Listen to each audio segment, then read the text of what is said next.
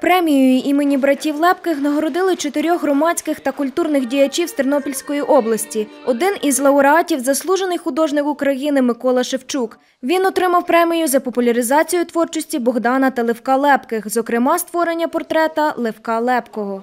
Ми вперше в Україні організовували всеукраїнський живописний пленер босими стежками Лепких. В 19-му році я створював портрет Левка Лепкого, тому що завжди вважав, що несправедливо замовчується його ім'я в нашій історії. Премію отримала також поетеса Раїса Обшарська. Вона нагороджена за збірку віршів «Кулі в трояндах».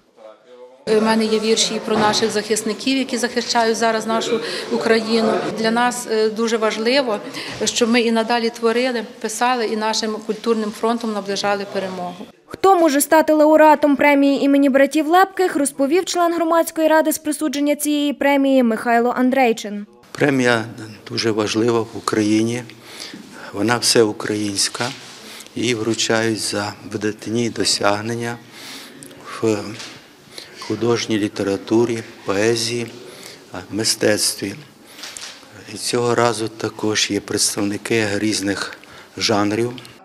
Цього року премію імені братів Лепких вручили також заслуженому діячу мистецтв України Сергію Лазо та заслуженому працівнику культури України Анатолію Баньковському. Окрім цього, премію отримали троє діячів зі Львова, Чернігова та Сумщини. Про це розповів член громадської ради з присудження премії Михайло Тимошик. За його словами, премію заснували 34 роки тому. За цей час її лауреатами стали 150 осіб і творчих колективів. Серед них письменники, художники, літературознавці, громадсько-культурні діячі.